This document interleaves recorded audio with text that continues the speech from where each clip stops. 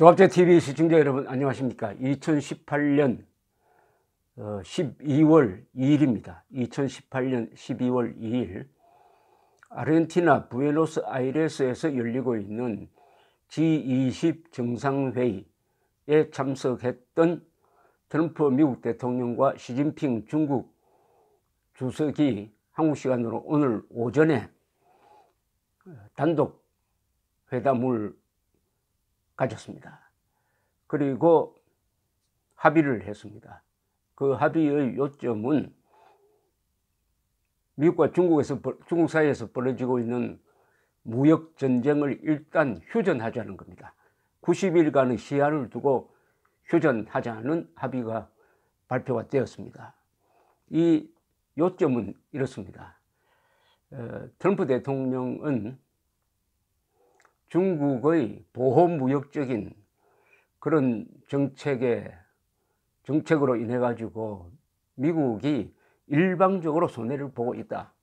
5천억 달러 정도의 무역 흑자를 매년 보고 있는 중국에 대해서 어, 당당하게 국제 규범에 따라 어, 무역을 하라. 왜 이 지적 재산권을 그냥 도둑질 하느냐?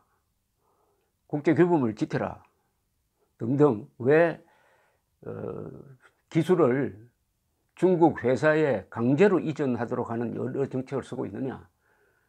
어, 이렇게 이유를 붙여 가지고 그런 문제가 시정되지 않으면 공정한 무역 거래로 가지 않으면 하는 걸 전제로 해 가지고 내년 1월 1일부터 내년 1월 1일부터 중국으로부터 수입하는 약 2천억 달러 매년 2천억 달러의 상품에 대해서 어, 관세를 현행 10%에서 25%로 올리겠다 하는 어, 어, 경고, 최후 통첩을 했던 것입니다. 이미 500억 달러의 중국 수입품에 대해서는 관세 추가 부담이 이루어지고 있고 추가로 2천억 달러를 하겠다. 2천억 달러 어치에 대한 관세를 늘리겠다. 이렇게 해놓았는데 이번 합의에 의해서 어, 2천억 달러 상품에 대한 추가 관세 부과는 일단 일단 중지하고 앞으로 90일 동안 미국과 중국이 협상을 한다.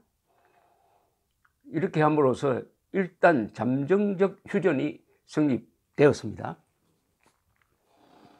어, 그런 이 자리에서 시진핑은 어, 이런 보장을 했습니다. 중국으로부터 어, 미국으로부터 산업 제품을 수입하는 것을 늘리겠다. 농산물도 늘리겠다. 그리고 에너지 수입도 늘리겠다. 그렇게 하면 무역 불균형이 어느 정도 해소, 해소, 해소될 것이다.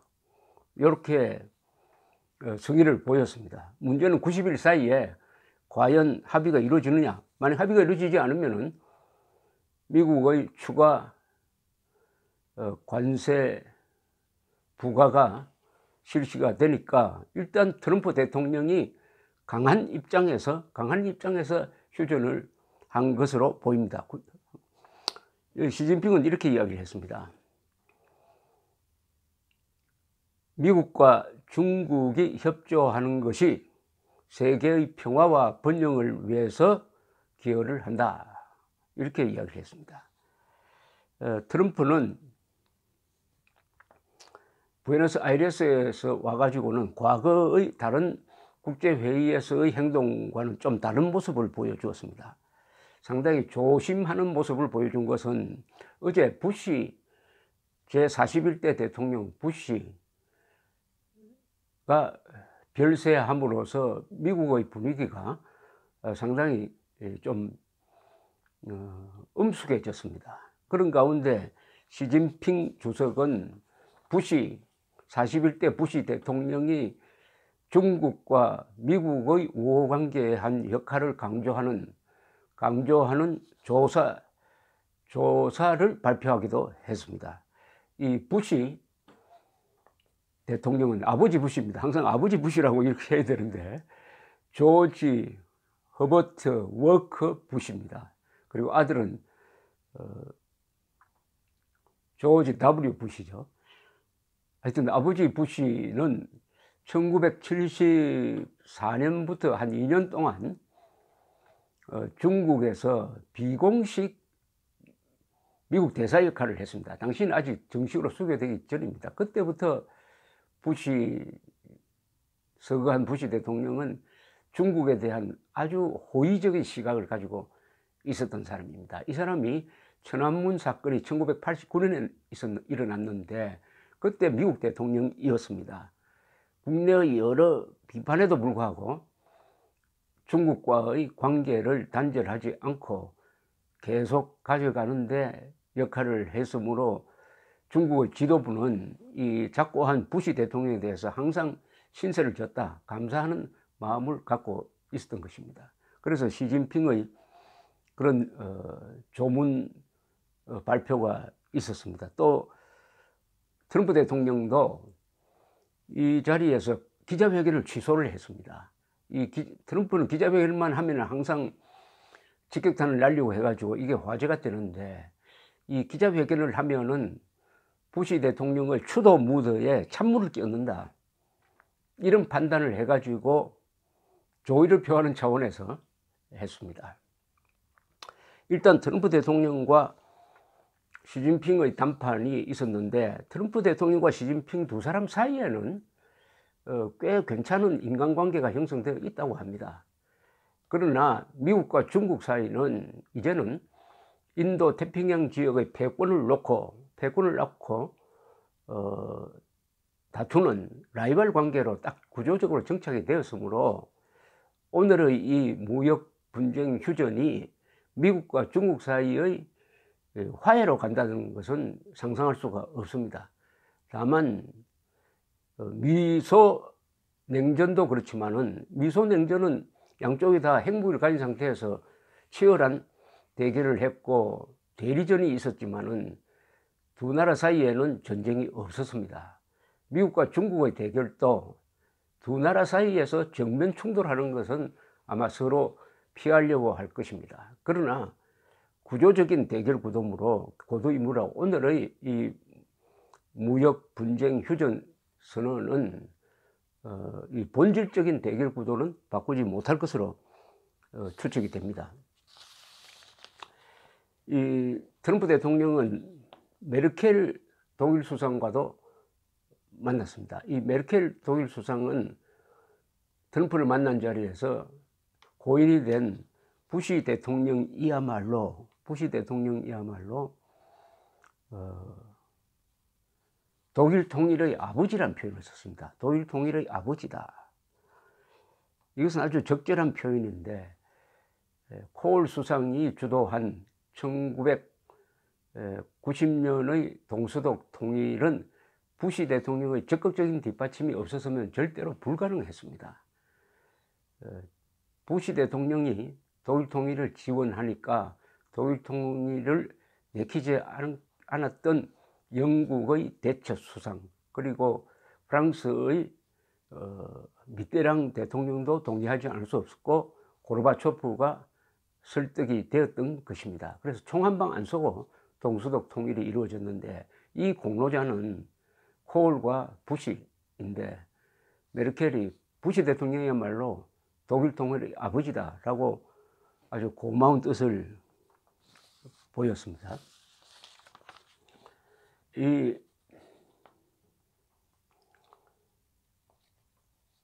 트럼프 대통령은 어, 이 G20 회의에 나와가지고 푸틴과는 회담을 하기로 했다가 취소했습니다. 그러나 만찬장에서 뭐 잡담 정도는 나누었다고 합니다. 또 푸틴 대통령은 어, 누구를 만나느냐, 어떤 형식으로 만나느냐를 가지고 그 사람을 좋아하느냐 싫어하느냐를 노골적으로 표현하는 사람인데 G20 회의에서 아베 수상과 호주 수상 그리고 인도 수상은 아주 우대를 하면서 문재인 대통령과는 pull aside 회담이라고 그래가지고 어, 비공개 회담을 30분 하는 걸로 때웠습니다. 비공개 회담 30분 하면은 통역하는 시간을 빼면 한 사람이 7분 정도밖에 이야기할 시간이 없고 그, 공, 그 회담에서 있었던 대화 내용에 대해서 어, 백악관은 그냥 짤막한 문장 하나의 논평만 했는데 그 논평 내용도 어, 대북 제재에 적극적으로 어, 협력하기로 했다 하는 대목만 있었지 김정은을 환영한다든지 하는 대목은 없었습니다. 김정은 환영을 한다는 대목은 우리 쪽의 발표에만 있었습니다. 또 트럼프 대통령은 이 터키의 에르도안 어, 에르도안 대통령과도 만났는데 예, 근데 이 사진 찍는 것도 생략하고 사진 찍는 것도 생략하고 별 다른 발표를 하지 않았습니다. 문재인 대통령하고 비슷한 대우를 했습니다. 에르도안을. 이건 좀 이례적인데 지금 터키와 미국 관계가 한때 나빴다가 지금 좋아지는 분위기입니다. 에르도안이 어, 에르도안 대통령이 터키가 불법 응유한 미국 불법 응유했다기보다는 미국의 주장에 의하면 불법적으로 응유됐다고 보고 재판을 통해서 응유가 되어 있는 선교사를 풀어주었습니다. 선교사를 풀어주었는데 또 트럼프 대통령은 그 전에 터키의 장관 두 사람에 대한 금융 제재를 한 적이 있습니다. 이렇게 하니까 이 리라와 터키의 통화가 막 곤두박질 치고 해가지고 경제 위기로 몰렸던 적이 있습니다. 여기에 굴복한 에르도안이 이 목살을 풀어주었는데 지금 카쇼 사우디아라비아 카쇼기 기자 암살 사건을 둘러싸고 이 터키와 사우디아라비아가 좀 정면 대결을 하고 있습니다. 트럼프 대통령은 사우디아라비아의 빈 살만 왕세자를 왕세자를 적극적으로 지금 옹호하고 있는데 왕, 터키에서는 왕세자가 이 암살을 지령을 했다 이렇게 보는 거죠. 물론 어, 트럼프는 빈살만 왕세자와 뭐 악수를 나눈다든지 대화를 갖지 않았습니다. 그런데 에르도안과 만나긴 만났는데 약간 좀 푸대접을 한 느낌이 에, 들기도 합니다.